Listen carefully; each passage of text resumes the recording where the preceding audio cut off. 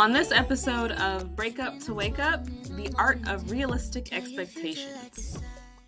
So, like, okay, so like I said, I am, I, I, I, I wasn't shit. I'm a lot better than I was then. But even when I married my wife, we had a conversation, and I just was like, look, I, I, I can't promise you that I'm gonna be faithful to you for the rest of our life. That's honest. To me, I like, I like honesty, and I'm not gonna sit here and, and make somebody think that like forever is a long time. Yeah. And I'm not even gonna play with myself like that. Yeah, I'm especially at 25. 25 years old. And it's like, you know, so I was like, ah, so let me just be real with her. I feel like I get put in that box real quick. oh, and then it'd be a problem because they put me in a certain kind of box. But then I'm normally the breadwinner. You know what I'm saying? Yeah, I the- got you. You know what I'm saying? You the Like, man Yeah. in like, at the house. I'm the man. Yeah. That might be an issue, you know, because we be in my house. you know? So you really the man at the house. Yeah. and they can't take you. I feel that. I feel that. Welcome, welcome, and thank you so much for turning into another episode of Breakup to Wake Up. This is the show where uh, we talk about something a little different when it comes to relationships. We talk about the ending of relationships because breakups can traumatize us so much more than anyone talks about. They change us, impact who we are, and they also feel so isolating. Like, no one, we don't talk about them very often. And um, so on Break Up to Wake Up, we talk about you know the trauma of breakups, how we heal, how we cope, how we move on, and how we are eventually okay again. you Yeah. know? Yeah. So my guest for today is Neeno B. Neeno is an actress, a model, an author, a host, entrepreneur. Aren't you also a mother? I am a mother. Okay, so you're a superwoman. too, I am a superwoman. um, anything else you'd like to say about yourself? um, I don't know. I think you got it all. Yeah. You said actor, Yes. designer, And designer. Okay. stylist, a whole bunch of good stuff. Okay. I like So- dibbling and dabbling in whatever I can. Okay. Same. I have like seven jobs. Yep. so. okay. And so before we get started, I want to note this is this is a safe space. Okay. You know, all of these questions are optional. Gotcha. and I want it to feel reflective and um, reflective, not triggering. You know, Already triggered. yeah. No, I'm just kidding. Yeah. good. So yeah. um. Okay. So firstly, uh, I went through a breakup sort of recently, Okay. and I think what I found myself doing in this one that I haven't done in others is that I'm like comparing this breakup to my other breakups, which I've never done before. Yeah. I think this one feels different because this was probably the most like premeditated breakup I ever had. Mm. Like this was like the most long time coming. Was not shocking, not surprising. Like I feel like we broke up in pieces over several weeks instead of it being like one big breakup, you know? I feel that. So I think this has been a lot easier for me to like emotionally cope with. You Mm. know? So, I know you, you know, you were married and then you had a relationship after that. So Yes. if you were going to compare the dissolving of those relationships, do you have any like reflections on what was maybe different or the same? Um, definitely, I think like the same. I would say that um, even though in age I was a lot different between the both of them, um, mentally and emotionally I wasn't mature. Um, so I got into my marriage and I married quite young. Um, and I and that was a almost a ten year relationship that I was in. Um, and most of my adulthood basically. So that was like my for real, real relationship. Um, and then the person I got into relationship with after my marriage, I think that I just hadn't like a lot of things I just wasn't like mature about when it came down to it. Still doing a lot of the things from like my marriage and not necessarily like taking it seriously because I don't feel like I was in a space really to to do that. Yeah. Um, and I do want to focus more on your relationship after your marriage, but Okay. like we should start with the marriage. Okay, okay. yeah. um, so you said you got married young. So like, what? Did you get married young? Oh man. So um I've been with women since I've been about 16 years old. Uh really before then, but 14 I came out 14, 15 years old to my mom and uh it was a hot ass mess. Like just your normal, normal, happy to be queer. I'm here type of girl. I was definitely uh I'm from Detroit, so I, I grew up I was um more pr- masculine presenting, so definitely like straight stud. Did a lot of uh I, I was a dog to say the to say the least. Uh having fun, but I was young. Like I said, I wasn't, you know, I was young. I met my um ex-wife when I was about 19 years old. Uh, we got together when I was about 21 and married when I was 25. Uh, divorced by the time I was 29. So um, yeah, I was I was young. Like I remember at t- talking to my grandmother, and I was like, "Yeah, I'm about to get married." You know, I was 25. I, I mean, she was like, "You sure that's what you want to do?" I'm like, "Yeah." You know, so it just her. felt like a good idea at the time. I, yeah, because she had been been like rocking with me. I had been on some other shit, and um, and so I felt like I owed her that to a sense.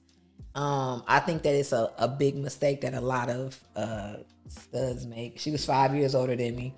Um, it was like she was ready for a lot of things that I probably wasn't ready for, and but I was the man, so mm-hmm. I had to give my woman what she wanted, at least what I thought she wanted. Uh, and yeah, I really, I really wasn't ready for that at all. Okay, so was like was like your circle supportive of you getting married, or did they all kind of like were they all kind of like? Eh? Uh, my family was cool. My and my friends were like, all right, because they knew her. Like you know, we had been through our typical lesbian relationship. I was actually the first chick that she had ever been in a relationship with but we had been like broke up and moved from out from with each other and moved back in with each other and rekindled and everything before we actually got married. So by this time, my friends, my family, everybody's used to her. So they're like, oh, okay, yeah, y'all just stop playing and do yeah. whatever y'all gonna do. And that's yeah. also like a. I feel like if you can rock with somebody at 19 and at 25, I would take that as yeah, you know, yeah, like, yeah, yeah. Okay, like you know, we grew together in some aspect. Right. You know. Yeah, definitely. So when when you got married, did you feel a sense of like confidence that your marriage would last, or were you, or were you kind that of like, hilarious. Mm, we gonna see? so like okay, so like I said, I am I I I. I wasn't shit. I'm a lot better than I was then. But even when I married my wife, we had a conversation and I just was like, look, I I I can't promise you that I'm gonna be faithful to you for the rest of our life. That's honest. To me, I like I like honesty, and I'm not gonna sit here and, and make somebody think that like forever is a long time. Yeah. And I'm not even gonna play with myself like that. Yeah, especially I'm at 25. 25 years old. Yeah. And it's like, you know, so I was like, ah. So let me just be real with her. And, you know, of course, it was like, okay, we were um in some points of our marriage in an open marriage. Mm. so that's a whole nother story but we were so i still had a lot of the perks and stuff from being single and feeling like i was single um even though i was in the marriage. So um i did think that it would last. I didn't go into it thinking that i would be divorced. I, I thought that i would have a wife and that would just be it. You know what i'm saying? I thought because of the way we were doing things and the way that it was happening that it was built to last. We had kids and house and dogs and picket fence and shit. So I, I did definitely think that it was a forever thing. So you did you say kids? Kids. Yes. Okay, so like did y'all create kids together? So we actually um I have one biologically. Um I have a son that's 21. So he's an old grown man. And um she has a daughter um, that I raised. So we were together for 10 years. I raised her the whole the entire time. And then we adopted. Um yeah, so we adopted right before our marriage was ending. It was something that I had already we had already talked about, something that already was a go thing and I'm a woman of my word. So I continued to go through with everything even though I knew we were about to be over. We we both knew it was over. Gotcha. yeah. Was there was there that kind of usual sense of like, oh, we need to try hard to stay together for kids? Was that going on, or was it kind of like I think the kids gonna be good either way? Yeah, and our oldest at the time were like 15 and 16, right? So we were like the baby is one or two. We like he'll be out. He don't even really know too yeah. much. And the older kids were like split up because y'all yeah. get on our damn nerves. Like we, we was working their nerves, so they was like, look, they was counseling us. Like if y'all just separate. We know y'all love each other. We know, but just it's okay. Oh. Yeah. So it was. It, yeah, it came to that. okay, that's a testament. I think that's a testament to your your uh, children yeah. as well that they're uh were so aware. Yeah. They wanted y'all to be happy. Yeah, definitely. Yeah. So if you could if you could sum it up, what would you say was kind of the biggest problem in your marriage? do you think it was you not really being ready for a marriage and not being mature enough or was it kind of like your compatibility or? I think uh, a combination of many things. I just think like just how you were saying like if i if somebody stuck with me when i was 19 and 25 i would rock with them right? Mm-hmm. and so it's the same type of thing but you have to realize that you're just nowhere near the same person after you grow for so long and some people grow with you and some people grow apart. And i think for us like she's a great woman. I absolutely adore her. I love her. But she's just not the woman for me. You know what i'm saying? And vice versa. Like i'm not you know. So i think that um it like definitely to you know it, it just we just grew apart in a sense. Um things that were cool when we when i was 25 years old she it was not cool when i was 29 30 you know what i'm saying? So we like I said, we opened up our marriage to a lot of different things, and um, that kind of took a effect on it as well. Doing things that we weren't quite emotionally and you know what I'm saying ready for. So yeah. So the divorce was kind of mutual. Oh yeah, no, she she left me, um, but it was good though. Okay. It needed to happen yeah. because I like I ain't even mad at you. I, I, I, wouldn't have left. I'm just the type of person like I'm just a stick it in type of you know what I'm saying. If I say I'm gonna do something, I'm gonna do it. So I wasn't really I was unhappy, and we had talked about it, and then we both knew we were unhappy, and it was eventually going to end but i didn't have the courage to like just leave my wife and my kids and the in the house and the family like, i just I it wasn't scary, in scary me and it's like a lot yeah like, and i didn't have that growing up so if it, it, meant more to me to try to keep something like that together, even if it, you know. But yeah, you gotta. My ex was like, right before we broke up, my ex was like, I would rather be so angry and miserable with you than be happy by myself. And it's crazy. And I was like, why? Don't say that. Don't why say that. Why yeah. do you want this? Like we're we're bad. Like yeah. why is this why why? I yeah. was like that didn't you know. So I was like yeah. yeah. Um yeah, I also know that um my most recent relationship I think was also not I think I know. This was the most I ever allowed myself to intertwine my life with a partner. Mm. Like I have I've always been very I've your stuff's over there, my stuff's over there. But this relationship, I just let I just let I yeah. just I just was like, we on the car insurance, we shared the credit cards, you living with me, you know what I'm saying? It was a lot of things. And so like I'm we're still trying Separating. to reconcile how to do you know it's like it's annoying because it's like now we still gotta argue like we together and mm-hmm, we're not and then mm-hmm. that's even more irritating because we're yes. not even together but we gotta argue about money girl just pay you know this damn bill yes, like no yeah. I get it 100 percent yeah so like what was like what was that experience like being married to someone and being together for 10 years and having three kids like that detangling process what was that you like know you? Golly that was crazy because majority of st- things were still in my name and and we did have to do a lot of like separating but it was um intense like the first year like that first that them first oh, few yeah. months and yeah it took a minute it took a minute especially with the kids because we went back and forth about the kids and certain stuff and you know just everything and now we doing everything completely different and completely away from each other and um and then people still feel like they're entitled to certain things so i'm like gotta get your own phone. You know what I'm saying? Get your phone on. And she like, I ain't taking my phone. It's been like that all the time. But now I'm gonna start checking the shit. You know what I'm saying? So you might want to get your own phone. so I ain't checking to see who you're talking to. And it just makes sense to just start trying to separate that yeah, stuff. and not have so, much access. Yeah, definitely. Definitely. Yeah. So where are y'all? Where are y'all like now? Like y'all have a good relationship now. Um would you say? eh, yeah. We we're decent. We're good. Um yeah.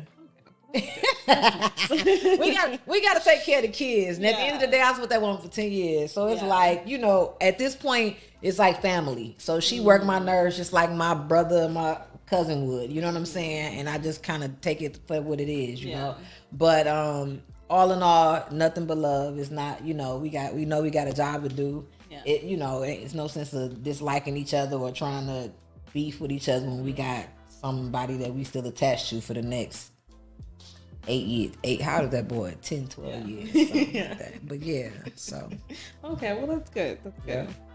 So getting into what it was like dating post divorce. Do people like I, I'm a person who like if I had it my way, I would be that person that's like I'm cool with all my exes. I don't have no issue with that. I feel Yeah. like once it's done, it's done. I don't feel no type of ooh, actually, you know what I'm saying? But Yeah. it's like people I find like when I'm dating, people really have an issue with that. Like they don't like, you know what I'm saying? So do people Nobody like yeah, so do people have like a like when you're trying to date, are people understanding of the fact that you have to communicate with your ex-wife and that you have she has to be involved in your life in some aspect? For the most part, I haven't had like any issues with that. Um, but I do like I've had the same phone number since I've been 16 years old. I won't change it. I, I'm just not. So um, that's probably more of an issue because then that means anybody that I've ever dated or talked to since I've been 16 will still call me and check on me. You know what I'm saying? So those type of women are more of issues when I'm dating opposed to like my ex-wife. Like I think people understand, especially now, that like it that has to happen. It's Yeah. not something that I'm trying to, you know. So yeah. Okay. And um also like me being in Atlanta in like I'm about to, I'm about to, about to ask you something. Okay. me, me being in Atlanta in like, you know, the LGBT women who date women community, I feel like what I've noticed and what I've experienced is that people are real deep into the whole like stud and femme roles and those divisions. Mhm. So like, and you're and you identify as a no label. I do. Okay, so do you? I don't like. Do people like like say stuff to you like there are studs like oh you're too masculine and like femmes or like you're too fem like you know or Yeah. people do people just take you as you are? It- Who love it's you, you know it's weird. It, it get weird. it can get weird sometimes. I think like when people aren't like sure of who they are, I'm an issue for people. Ah, okay. I think like when I date people that's completely, you know what I'm saying, like comfortable in their own skin, it doesn't necessarily matter. But I do get like I've I've dated studs that are masculine and they're like, you know, like, oh you too, you too, you know, and it's just like, oh, you know, this this is how you met me, you know what I'm saying? Like and, mm-hmm. or the, or they want me to tone it down. They want me to be more feminine or be more and I'm really just a go with the flow type of person. If I'm feeling a certain type of way that day, then that's just what it is. So um, but for the most part, people respect that though. Like, yeah, That's good. I'm glad. yeah, Because I, I feel like I get put in that box real quick. oh, and then it'd be a problem because they put me in a certain kind of box. The breadwinner, you know what I'm saying? Yeah, I'm I the got you. You know what I'm saying? You the Like, man Yeah. in like, at the house. I'm the man. Yeah. It might be an you know, because we be in my house. you exactly. know? So you really the man at the house. Yeah. and they can't take you. I feel that. I feel that. Um, okay, and then as you were, you know, dating the new person that you met, uh, when you first met them, what was your kind of mindset around dating? You know, you're like Oh. post divorce, starting your entertainment career. Out, you know what I'm saying? Like, were you like ready to date? Were you looking, or were you kind of like not tripping about it? so I, I actually I dated a few people after my divorce, and when I got into that relationship, it was two years later Oh. after me and my ex-wife. So in between those two years, I dated. I dated. I definitely did. Um, and when I got with that person, I felt like I was ready to be in a relationship. Mm. Uh, just because I guess time is what Yeah. I would say. Like, damn, I've been single for a couple years now, dated a few Mhm. people, things ain't work out, haven't had the best experiences. This person come along, and I'm like, oh, this is it. You know what I'm saying? Um, but I don't really think that I was ready for that neither, though. But yeah, Okay, right person, wrong time. maybe. yeah, definitely, yep. And um, me, me personally, like, I don't know if it's because I don't know if it's because I'm a Gemini, but like, wait, what's your sign? I'm a Leo. Okay, Leo. I like Leos. My first three girlfriends were Geminis. Uh, Bad I- shit, crazy. I feel like my soulmate is another Gemini. Like, I'm really. I believe that. I yeah, believe like, that. I Seriously. like we'd be like this. Uh-huh. But um, yeah, I don't know if it's because I'm a Gemini or not, but like, I'm a very like goody two shoes, vanilla kind of like I can't lie, I can't, you know, like I'm a very goody two shoes kind of person, and so I find myself very drawn to like the opposite of that. Yeah, Like when I tell you, like I I don't even be knowing that they be a drug dealer. I'd be like, dang, another one. Like, you know, so I'd be really drawn. So it's like I have to watch myself and like think about like why am I drawn to this person and yeah. like where is this coming from? You know, because I know that that's I don't know why, but that's like it's something in you that attracts that type of person. Tracks that like they want me, I want the, you know what I'm saying. So I have to be really adamant about being careful about that. You know, so yeah. so when you met this person you got into the relationship with, what do you feel like were the things that like drew you in to that person? And we're like, yes, this is this is the So my ex-wife is a femme. This person was a no label. So I'm listening to you saying like I see. I feel like it was my soulmate as a Gemini. So I feel like my soulmate is somebody that's more like me. Um, so that was probably one of the things. Like I felt comfortable with being myself. Um, you talked about like the the roles when it comes to feminine and studs and things like that. So in my marriage, I did feel more like I had certain responsibilities as the stud. You know what I'm saying? Um, and because my wife was a femme and I was the first woman that she had been with, um, I really felt like I had Okay. to, Yeah. you know what I'm saying, step shit up when it came down to it. Um, in my relationship, I I just I felt more safe to be myself. Didn't there feel was like no pressure to like no fit. pressure at all uh, either way, and I think that that just made it more of a comfortable situation. And uh, you said that things were kind of on and off with that person. So Mhm. do you do you remember what caused like the first off? Probably me lying. I'm almost certain. So when I say I carried a lot of like bad habits from, you know what I'm saying, my marriage and shit. And then because it was so because I wanted that relationship so bad, I didn't really know how to handle it, right? Anything that I felt like would kind of turn her off from me or maybe make her uncomfortable or something, I'm like, yep, can't tell her that shit. Like, you know what I'm saying? So On the next episode of Break Up to Wake Up, pushing relationship limits. But I do think it was times where like I would be like blamed for things that I wouldn't have no, you know what I'm saying, Oh, like yeah. no idea that it's even going to happen or anything. Yeah. Like one time we walked in a place and somebody just kissed me, like, oh yeah, like what the fuck? Wow. Yeah, and and that's a lot, right? Because one, I don't know I'm about to be kissed, and then two, I'm here with my girl. You know what I'm But saying? also like, I don't think it's a fair expectation for you to want me to prioritize my unstable girlfriend over my financial security. You Mhm. know, like it's just especially like I, I just felt like that didn't make sense to me. yeah, And it's like I understand how she felt about it, but I just felt like me trying to quit two, three of my jobs to spend more time with my girlfriend—that was crazy to me. And I was I was so frustrated. And I had like a like a spray bottle, like for me, like spray like water on my hair. And I t- I picked up that spray bottle and I put it back down. And I was like, I don't know. I was like, I was like, I don't think I've ever in my life gotten to a point where I'm trying to like pick something up and throw it.